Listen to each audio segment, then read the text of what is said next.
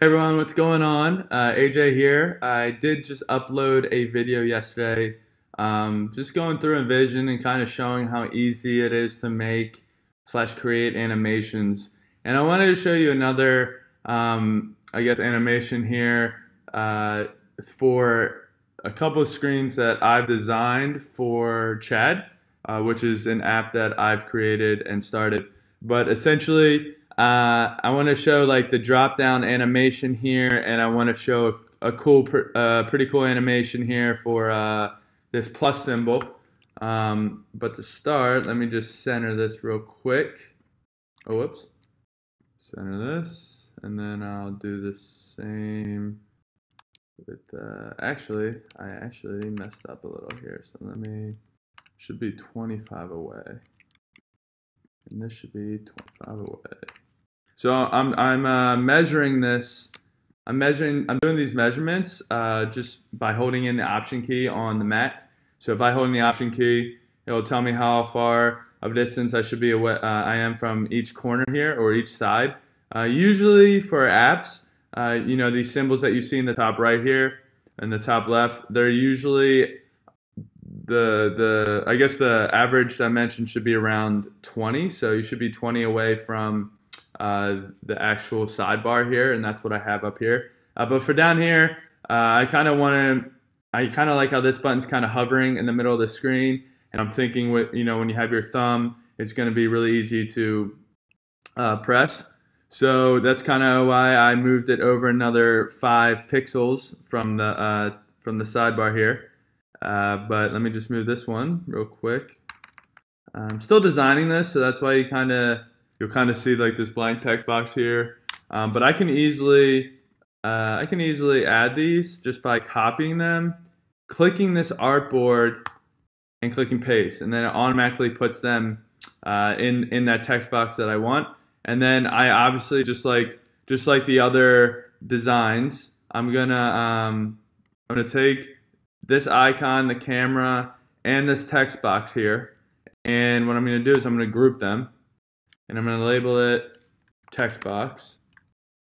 Okay, so anytime I like drag this around, these elements are going to be attached to each other. So I'm going to give you a quick breakdown real quick, and not breakdown, but I guess sample. Uh, so if I click play here, is why InVision is so cool. I can literally send this to my phone. I can share this with my teammates. Um, but the, the great thing about it, you know, Framer and Sketch all, and Figma have this as well, uh, their preview mode. Uh, but some about InVision's uh, preview mode just looks a lot cleaner. I love how they give this extra white space uh, for the background of your phone, and they obviously add the phone in here as well, so you can visually see how the app's going to look on your mobile device. But essentially, this is for those who don't know, Chad is is helping people connect with others in a surrounding area through location-based chat rooms, and this is what kind of we think this our chat room is going to look like. Um, we kind of want to go with this kind of look, um, not just basic, you know, header. You know, we have this nice little floating bubble here that we're going to be animating. It's going to be kind of rippling. Uh, you can favorite the chat room so that you can always go back to it. You don't have to go searching for it again. Uh, and then we have the title back to go back to the previous page, obviously. And then we have you know, a bunch of text like username underneath the profile picture. You have that mention feature.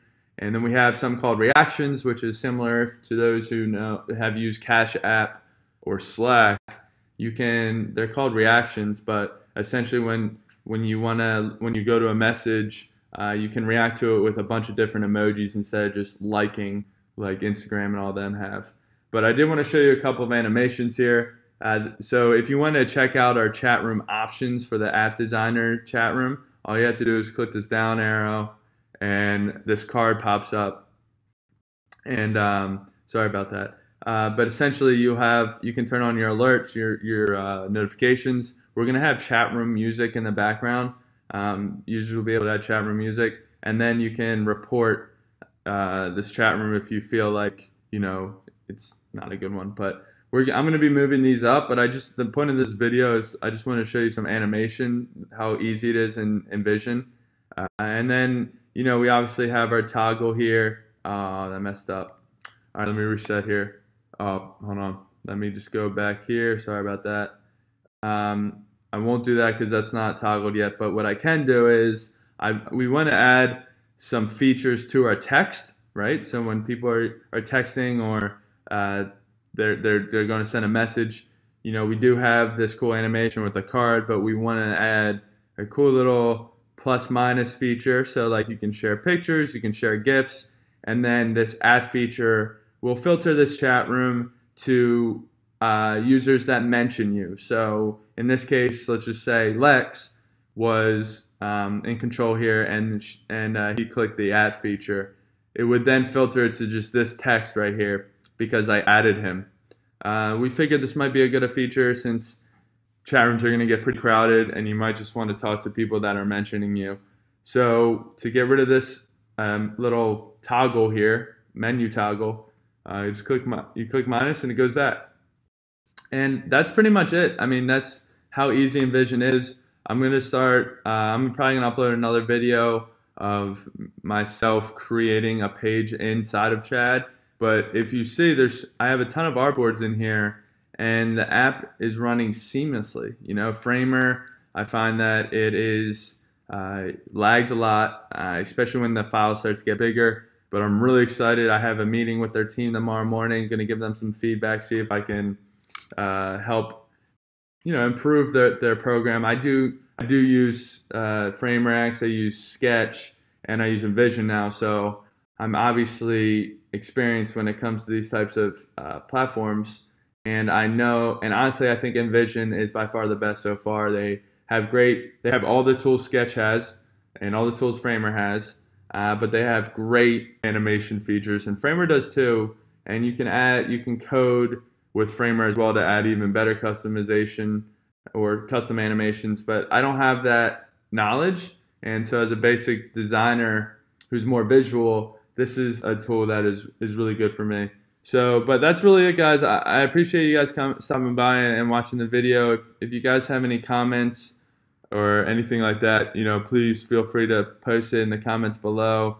I'm gonna try and get better at making these videos and and providing content for you guys because uh, I think it's good if you're if you're trying to become a designer, you know, to to start watching people on YouTube. That's kind of what I did to learn. So, but other than that, guys, I really appreciate you guys stopping by please like this comment, subscribe to me, uh, do whatever you want. I- am always here to help. Uh, you can always reach out to me uh, whenever you want at aj at contactchad.com. In the meantime, I will see you in the next video.